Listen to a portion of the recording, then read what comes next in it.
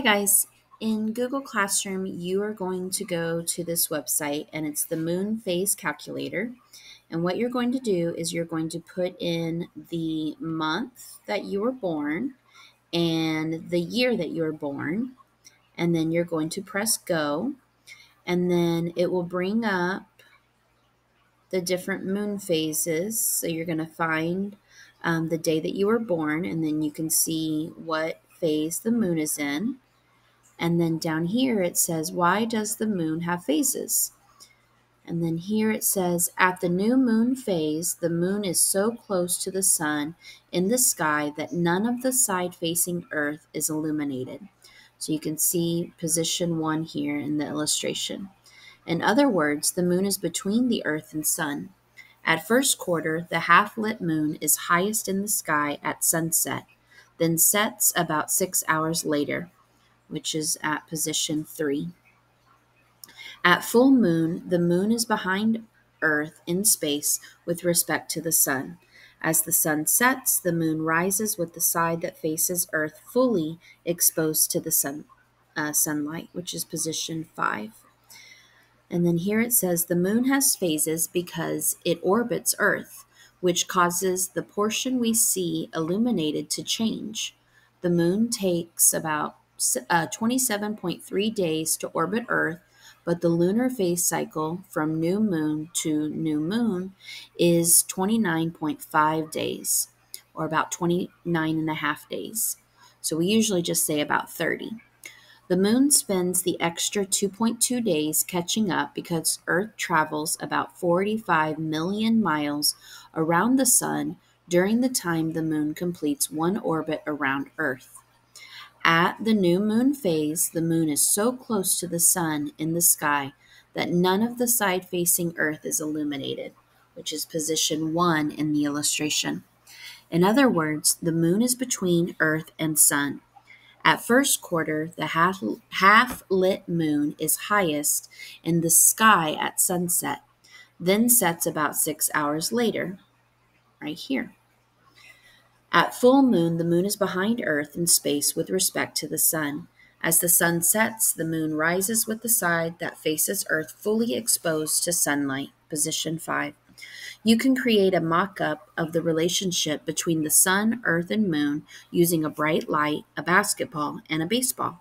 Mark a spot on the basketball which represents you as an observer on earth.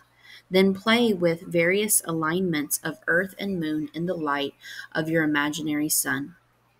When is the harvest moon? The full moon that occurs closest to the autumnal equinox is commonly referred to as the harvest moon, since its bright presence in the night sky allows farmers to work longer into the fall night, reaping the rewards of their spring and summer labors. Because of the equinox always falls in late September, it is generally a full moon in September, which is given this name.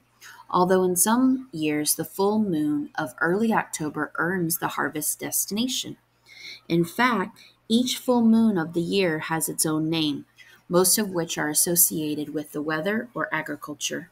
The most common names used in North America include the following January, moon after Yule, February, snow moon, March, sap moon, April, grass moon, May, planting moon, June, honeymoon, July, thunder moon, August, grain moon, September, fruit moon or harvest moon, October, hunter's moon or harvest moon, November, frosty moon, December, moon before Yule.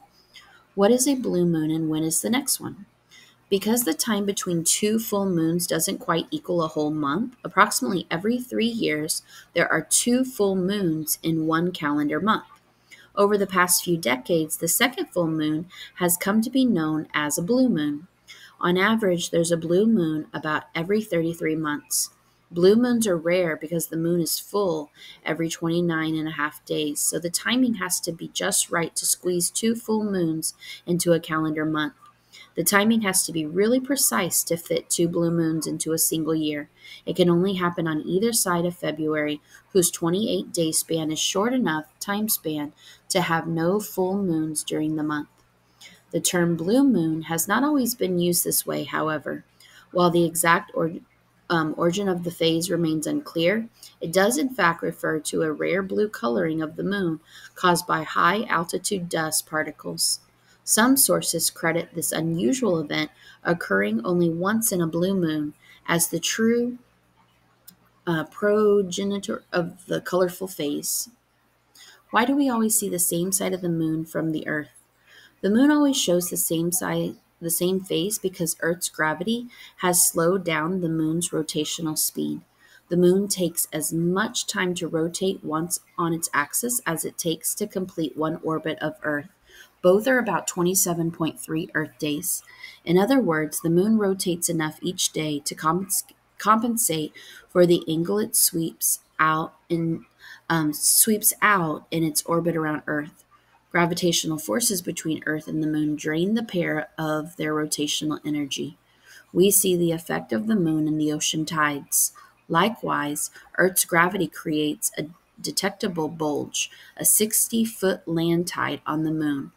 Eons from now, the same sides of Earth and Moon may forever face each other as if dancing hand in hand, though the sun may balloon into a red giant, destroying Earth and the Moon before this happens. When does the young moon first become visible in the evening sky? There is no real formula for determining the visibility of the young moon. It depends on several factors the angle of the ecliptic, the moon's path across the sky with respect to the horizon, the clarity of the sky, how much dust and pollution gunks it up, and even the keenness of the observer's eyesight. The young moon becomes visible to the unaided eye much earlier at times when the ecliptic is perpendicular to the horizon and the moon pops straight up into the sky.